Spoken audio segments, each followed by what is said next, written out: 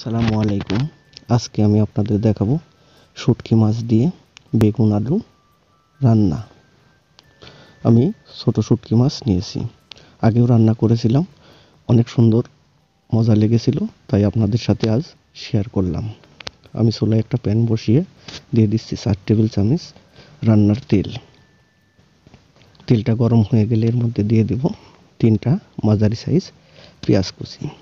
পেঁয়াজটা আমি নেড়ে চেড়ে সিদ্ধ করে নেব।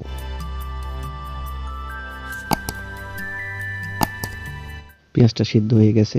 এর মধ্যে দিয়ে দিচ্ছি আদা, রসুন বাটা এক টেবিল চামচ, ধনিয়া জিরা বাটা এক টেবিল চামচ। আপনারা তরকারির পরিমাণ অনুযায়ী কম বেশি এগুলা দিতে পারেন। দিয়ে দিচ্ছি লাল মরিচের গুঁড়া এক টেবিল চামচ। শুটকি রান্নাতে লাল মরিচের গুঁড়া একটু বেশি দিলে স্বাদটা ভালো লাগে। দিয়ে দিচ্ছি আমি গরম মশলার গুঁড়া হাফ চা চামচ।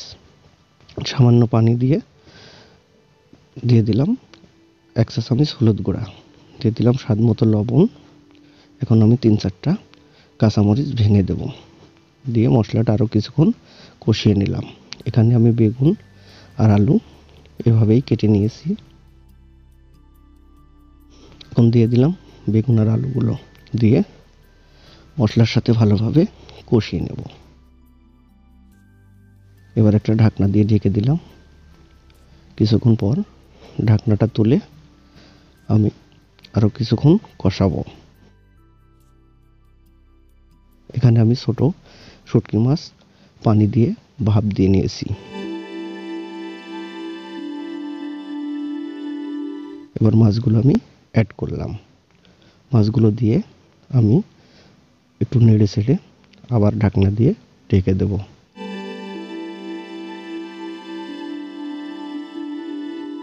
এবার ঢাকনাটা তুলে আরও কিছুক্ষণ কষিয়ে নেব।